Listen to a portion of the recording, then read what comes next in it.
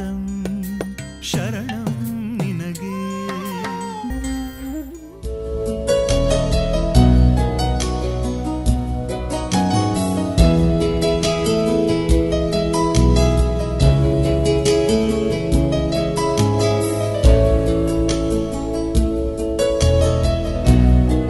Sir ನಿಮ್ಮ ಹೆಸರು? ರಾಮಾಂಜಿ ಅಂತ. ಯಾವ ಊರಿದು? ಆಲಪ್ಪಲ್ಲಿ ಆಲಪ್ಪಲ್ಲಿ. ಯಾವ ತಾಲೂಕು ಸರ್? ಚಿಕ್ಕಬಳ್ಳಾಪುರ ಚಿಂತಾಮ ಚಿಂತಾಮಣಿ ತಾಲೂಕು. ಚಿಂತಾಮಣಿ ತಾಲೂಕು. ತಾಲೂಕು. ಡಿಸ್ಟಿಕ್ಕು? ಚಿಕ್ಕಬಳ್ಳಾಪುರ. ಚಿಕ್ಕಬಳ್ಳಾಪುರ. ಇದು ಕ್ಯಾರೆಟ್ ಬೆಳೆ ಹೌದು ಅಲ್ವಾ? ಹ್ಞೂ ಎಷ್ಟು ಎಕರೆ ಇದೆ?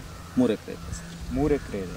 ಯಾವ ರೀತಿ ಬೆಳೀತಾ ಇದ್ದೀರಾ ನಾವು ಅದು ಬಿ ಎಫ್ ಎಚ್ ಆರ್ ಒಂದು ಲೀಟ್ರ್ ತಗೊಬಂದು ಹಾಂ. ಅದರಿಂದ ಅದು ಬೀಜ ಎಲ್ಲ ಅದರಲ್ಲಿ ನೆನೆಸ್ಬಿಟ್ಟು ಹಾಂ. ನೆನೆಸ್ಬಿಟ್ಟು ಮತ್ತೆ ಭೂಮಿಗೆಲ್ಲ ಇದು ಮಾಡಿದ್ದೀವಿ ಸರ್.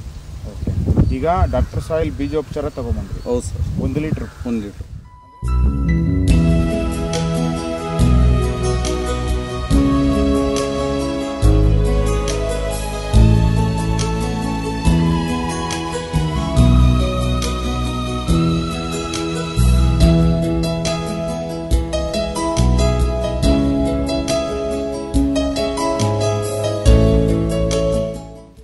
ಅದು ಡಾಕ್ಟರ್ ಸಾಯಿಲ್ ಬೀಜೋಪಚಾರ ಮಾಡಿದ್ಮೇಲೆ ನಿಮಗೆ. ಹ್ಮ್.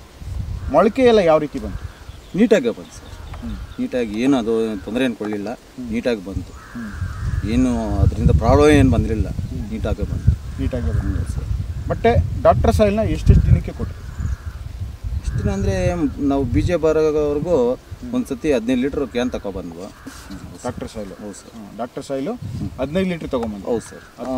ಈಗ ಎಂಟು ಬಾಂಡ್ಲಿ ಮೊದಲು ತಗೊಬಂದ್ರು ಎಂಟು ಬಾಂಡ್ಲಿ ಮಿಕ್ಸ್ ಮಾಡಿಬಿಟ್ಟು ಬಾಗ ಚೆನ್ನಾಗಿ ಮಿಕ್ಸ್ ಮಾಡಿಬಿಟ್ಟು ಭೂಮಿಗೆಲ್ಲ ಇದು ಮಾಡಿ ಸರ್. ಚೆಲ್ಲಿದ್ರಿ. ಹೌದು ಸರ್.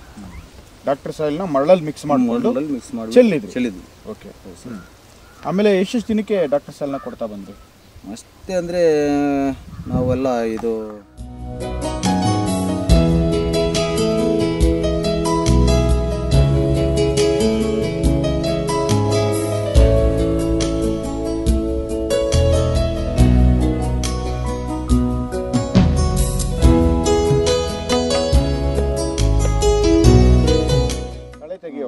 ಭಾಗ ತಗೊಂಬಂದು ಇಪ್ಪತ್ತು ಇಪ್ಪತ್ತೈದು ಲೀಟ್ರು ಮತ್ತೆ ತಗೊಬಂದು ಮತ್ತೆ ಮರಳಲ್ಲಿ ಮಿಕ್ಸ್ ಮಾಡಿ ಮತ್ತೆ ಇದು ಮಾಡಿ ಸರ್. ಮರಳಲ್ಲಿ ಮಿಕ್ಸ್ ಮಾಡಿ ಹೌದು ಕೊಟ್ಟರು. ಸರ್ ಹೌದು ಸರ್.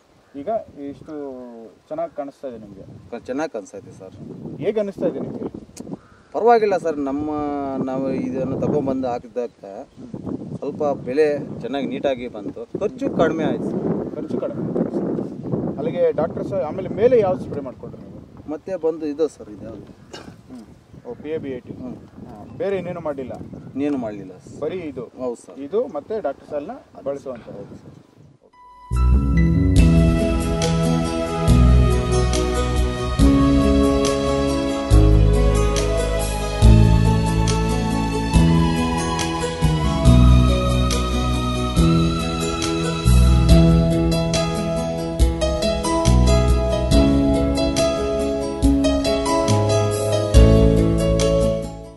ಏನು ಅನಿಸುತ್ತೆ ನಿಮಗೆ?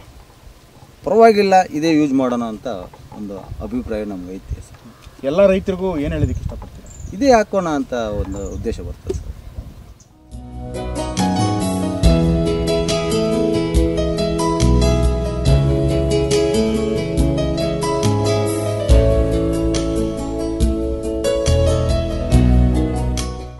ಡಾಕ್ಟರ್ ಸಾಯಿಲ್ ಜೈವಿಕ ಗೊಬ್ಬರ ಕ್ಯಾರೆಟು ಮತ್ತು ಮೂಲಂಗಿ, ಬೀಟ್ರೂಟ್, ಡಾಕ್ಟರ್ ಸಾಯಿಲ್ ಬಳಸುವ ವಿಧಾನ. ಡಾಕ್ಟರ್ ಸಾಯಿಲ್ ಜೈವಿಕ ಗೊಬ್ಬರ ಬೀಜೋಪಚಾರನ ಮೊದಲಿಗೆ ಬೀಜದಲ್ಲಿ ಮಿಶ್ರಣ ಮಾಡ್ಕೋಬೇಕು. ಒಂದು ಎಕರೆಗೆ ಡಾಕ್ಟರ್ ಸಾಯಿಲ್ ಬೀಜೋಪಚಾರ ಜೈವಿಕ ಗೊಬ್ಬರನ ಎಷ್ಟು ಬೀಜ ಬರುತ್ತೋ ಅಷ್ಟು ಡಾಕ್ಟರ್ ಸಾಯಿಲ್ ಬೀಜೋಪಚಾರನ ಬಳಸ್ಕೋ, ಅಂದರೆ ಎಷ್ಟು ಆಗುತ್ತೋ, ಅಂದರೆ ಎಷ್ಟು ತೇವ ಆಗುತ್ತೋ ಅಷ್ಟನ್ನು ಮಿಶ್ರಣ ಮಾಡ್ಕೋಬೇಕು. ಮಿಶ್ರಣ ಮಾಡಿ ಒಂದು ಒಂದು ತಾಸು, ಅಂದರೆ ಒಂದು ಅವರು ಒಂದು ಗಂಟೆ ಕಾಲ ಹಂಗೆ ಬಿಡಬೇಕು. ಆಮೇಲೆ ಅದನ್ನು ಡ್ರೈ ನೆರಳಲ್ಲಿ ಒಂದು ಪ್ಲಾಸ್ಟಿಕ್ ಪೇಪರ್ ಮೇಲೆ ಡ್ರೈ ಮಾಡಿಕೊಂಡು ಮತ್ತು ಡ್ರೈ ಆದಮೇಲೆ ಅದನ್ನು ಬಿತ್ತನೆ ಮಾಡ್ಕೊತ ಬಿತ್ತನೆ ಮಾಡ್ಕೋಬೇಕಾಗತ್ತೆ. ಅದಾದಮೇಲೆ ಮೊಳಕೆ ಬಂದಿದ್ದು, ಅಂದರೆ ಒಂಬತ್ತರಿಂದ ಹತ್ತು ದಿವಸ ಆದಮೇಲೆ ಡಾಕ್ಟರ್ ಸಾಯಿಲ್ ಜೈವಿಕ ಗೊಬ್ಬರನ ಹತ್ತು ಲೀಟ್ರ್ ಒಂದು ಎಕರೆಗೆ, ಅಂದರೆ ಡ್ರಿಪ್ ಇದ್ದರೆ ಡ್ರಿಪ್ ಮುಖಾಂತರನೂ ಬಿಡ್ಬೋದು, ಇಲ್ಲ ಮರಳು ಮುಖಾಂತರ ಮಿಕ್ಸ್ ಮಾಡಿಕೊಂಡು ಒಂದು ಐವತ್ತು ಕೆ ಜಿ ಮರಳಿಗೆ ಹತ್ತು ಲೀಟ್ರ್ ಡಾಕ್ಟರ್ ಸಾಯಿಲ್ ಜೈವಿಕ ಗೊಬ್ಬರನ ಮಿಶ್ರಣ ಮಾಡಿಕೊಂಡು ಸ್ವಲ್ಪ ನೀರು ಬಿಟ್ಟು ಅದ್ರ ಮೇಲೆ ಚೆಲ್ಲಿದ್ದು, ಚೆಲ್ಲಿ ಮತ್ತೆ ಅದ್ರ ಮೇಲೆ ನೀರು ಬಿಟ್ಟರೆ ಸಾಕಾಗ್ಬೋದು. ಇಲ್ಲ ಡ್ರಿಪ್ ಇದ್ದರೆ ಡ್ರಿಪ್ ಮುಖಾಂತರ ಅದನ್ನು ಹಾಯಿಸ್ಬೋದು. ಇದೇ ರೀತಿ ಒಂದು ಇಪ್ಪತ್ತು ದಿವಸಕ್ಕೆ ಒಂದು ಸರಿ ಒಂದು ಎಕರೆಗೆ ಐದೈದು ಲೀಟ್ರು ಡಾಕ್ಟರ್ ಸಾಲ್ ಜೈವಿಕ ಗೊಬ್ಬರನ ಕೊಟ್ಕೊಂಡು ಹೋಗಬೇಕಾಗುತ್ತೆ. ಇದಕ್ಕೆ ಟೋಟಲ್ ಆಗಿ ನಲವತ್ತು ಲೀಟ್ರು ಡಾಕ್ಟರ್ ಸಾಲ್ ಜೈವಿಕ ಗೊಬ್ಬರ ಒಂದು ಎಕರೆಗೆ ಬೇಕಾಗುತ್ತೆ.